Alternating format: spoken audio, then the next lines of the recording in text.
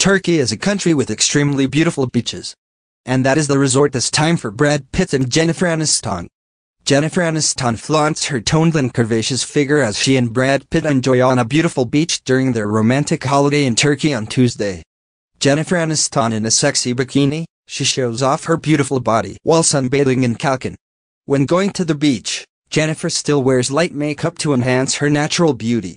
Meanwhile Brad Pitt showed off his toned muscles at the beach, he wore shorts with lots of colorful prints.